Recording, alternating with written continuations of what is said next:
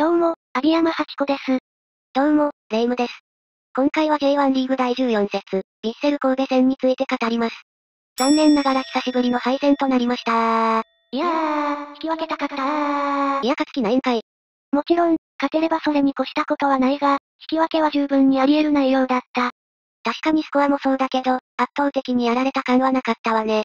こちらにもチャンスはあったし、現在首位のチームにアウェーで勝ち点1なら上出来。奈良首相も、いい試合をした、で終わりたくなかった。と試合後に語っている通り、1ポイントでいいから持って帰りたかった。うーん、確かに。それでは、試合の中身を見ていきましょう。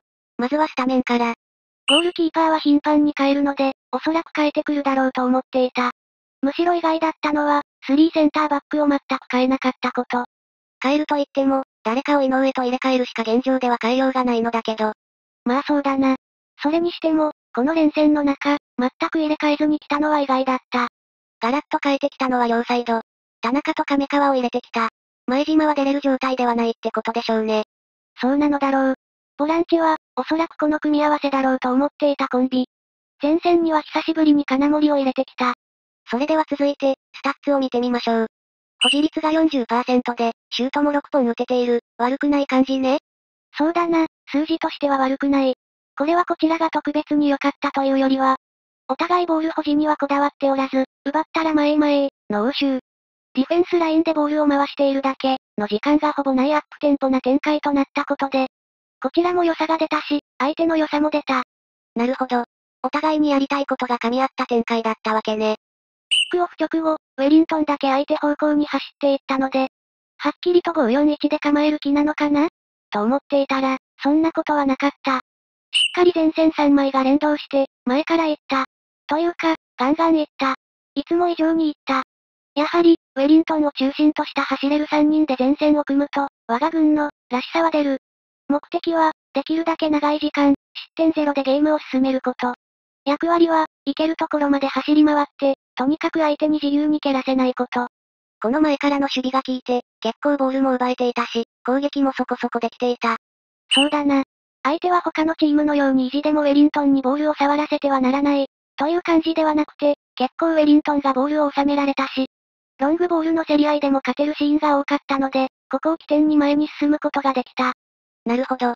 計算通りの展開に持ち込めてたわけね。うむ。できるだけ失点しないようにゲームを進めながら、前半終了間際の44分、長谷部監督がゴーサインを出していた。ゴール前にボールを送れ、と。これを機に、田代のクロスボールがそのまま流れてポストに当たる。田中のクロスを北島がニアで合わせてヘディング、といくつかチャンスを作った。前半残り2、3分、ここでサクッと得点して、ハーフタイム突入、というのが長谷部監督の描いた展開だっただろう。長谷部監督の勝負しっぷりが出ていて面白かった。そして後半突入。スタッツを見てみましょう。傾向としては前半と変わらず、シュート数もだけど、パス成功数がどちらも大きく増えた。そうだな。これは、お互い疲労が出てきて、プレスが緩くなり、後ろで回す余裕が出てきたのだろう。なるほど。それにしても、枠内シュートではこちらの方が多くて、しかも相手は1本のみ。その1本が決勝点になったと思うと悔しいわね。そうだな。失点シーン。あれをもう一回やれ、と言われても、成功するのはなかなか難しいだろう。そういうレベルのゴールだった。確かに。しかし、決して偶然のゴールではなくて、後半開始から、宮代を裏に走らせてそこを狙う。大迫が低い位置に降りてきて、ボールをさばく。など、得点の布石になるようなプレーはいくつも見られた。ほうほう。そういうプレーをこちらがもっと感じていなければならなかった、と。いや、こちらに落ち度と言えるようなものはなかったと思う。失点の場面。大迫が下がってボールを受ける。ついているのは茂み。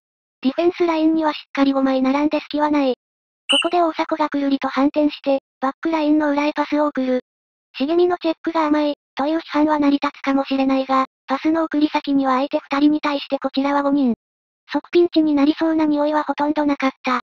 だから、茂み、一瞬たりとも気を抜くな、というのはちょっと酷。しかし実際には、利き足ではない足で出した大迫の浮き球は、ディフェンスラインとキーパーの中間に落ちて、長石は出てもとどまってもどちらにせよ、防げたとは思えない絶妙な位置からシュートを打たれた。ノーチャンスだったわね。そうだな。長谷部監督が試合後語ったように、単純に相手のキックの質が高かった。悔しいが、同時に同じことができる選手がそれほど多くいるとも思えないので、ああすればよかった、こうすればよかったと色々考えてもあまり意味がない。頑張ったけど、しょうがなかった。以上。その後、続々と選手を送り込み、終盤にはグローリを上げてパワープレイに打って出た。久しぶりに見る一手だったわね。そうだな、なんとしてでも負けたくない、って感じだった。なかなか他に効果的な手がなかったってことかしら？そうだな。ただ一つ残念だったのは、岩崎の生かし方。亀川の守備が効いていたので、彼を残して岩崎を前線に入れたのは正解だと思う。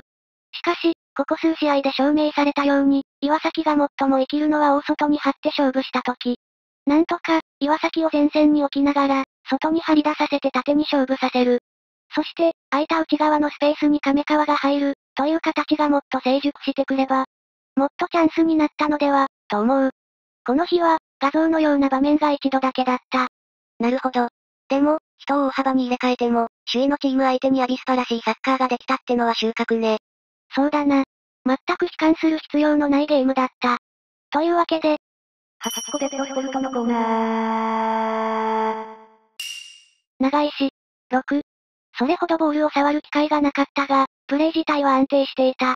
失点場面はできることがなかった。しょうがない。田中。5.5。何度か味方との連携から、サイドを崩し、チャンスにつながるクロスを上げた。しかし、決して悪い意味ではなく、目立つ場面は少なかった。グローリ。6。いつものように、厳しいマークで相手に自由にプレイさせなかった。終盤には前線に上がり、パワープレイ要員として攻撃でも貢献した。なら、6。ここ数試合見られた、体の重さのようなものは感じられなかった。ピンチの後に味方を叱咤する姿も見られ、らしさが戻ってきたように感じられる。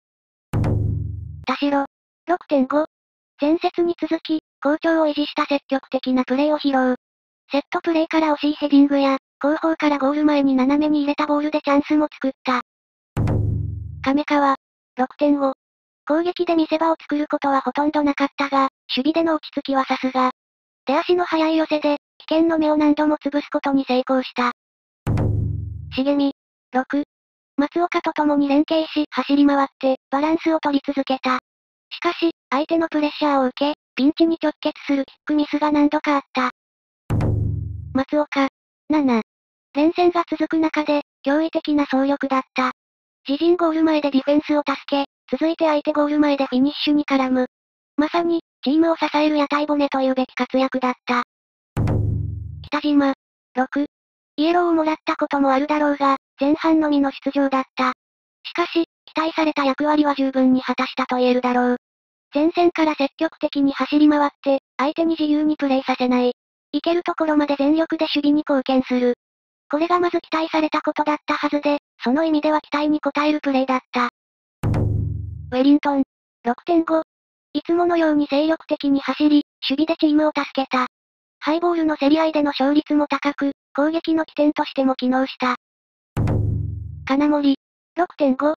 北島、ウェリントンも精力的な守備を見せたが、最も目立ったのは彼の守備だった。チームを引っ張っていく、という気持ちが見えるプレーで、味方を鼓舞した。途中出場、今野。6。中央でボールを受けてから、ドリブルでカウンターの起点となったが、決定的な機会を作るまでには至らず。途中出場、湯沢、岩崎、ザヘディ、平塚、評価なし。それでは恒例の、順位表を見ていきましょう。負けたけど、順位は大きく変わらず10位。相変わらず、上とも下とも勝ち点に大きな差はなく、一つの勝敗で大きく入れ替わる感じ。そうだな。この辺が踏ん張りどころ、しぶとく勝ち点を積み上げていきたい。それにしても、この試合が行われた5月15日に向けて、J リーグ公式チャンネルで過去の試合が流れていたけど？そうだな。我が軍の試合は、富安が初得点を記録した試合と、川崎の無敗記録を止めた21年の試合だった。クルークスが決めた試合。あれは今見ても興奮する試合ね。そうだな。と言っても、記憶にあるのはクルークスの一発と、ジョーゴがチョンソンヨンに全力で足を伸ばしたシーンくらいだった。確かにね。しかし、改めて見返すと、ほうほう。ゴールシーンなんかよりもっとずっと見るものを魅了する、心にぶっ刺さる、脳を刺激する。なになに長谷部442の美しさよゾクゾクする、ビリビリくる、圧倒的な機能美。人はこんなにも感じ合えるのか、繋がり合えるのか、10人がまるで一つの生き物のようにお互いを補完し合う集団の美しさ。確かに感じる松田博の遺伝子を、長谷部茂俊が消化させた主義の美学。ははあー、たまらん。たまらんくらいに守備が美しい。怖い怖い怖い怖い怖い怖い怖い怖い怖い怖い怖い。怖いっていうかやばいよ。サッカー見てゴールシーンより守備を見て興奮するって怖いよ。やばいよ。バカ野郎日本人にもイタリア人はいる。は？我々の心の中にイタリア人は住んでいる。は？日本を代表するイタリア人の素晴らしいお言葉を紹介しよう。相手の持ち味を削り、摘み取り、90分間の中の2回のチャンスにかける。それこそが、主義の美学。あー、まさにあの試合はそんな試合だった。ほとんど攻めてない。でも勝った。そんな勝ち方があったっていいじゃない。それがフットボールだもの。黙れ。ハチコが今節の神戸戦より、過去の川崎戦に心を盗まれたので今回は終わるよ。試合の感想、選手に対する評価をコメント欄で教えてください。高評価、チャンネル登録をお願いします。それではまた。